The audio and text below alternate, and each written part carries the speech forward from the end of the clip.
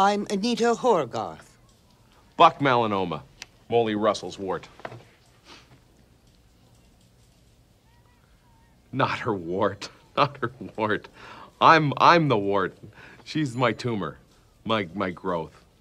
My uh, my pimple. I'm Uncle Wart. Just old Buck Wart Russell. That's what they call me. Or uh, melanoma head. They'll call me that. Melanoma head's coming. I'm sorry, Uncle. Maizy Russell's Uncle. I'm her uncle.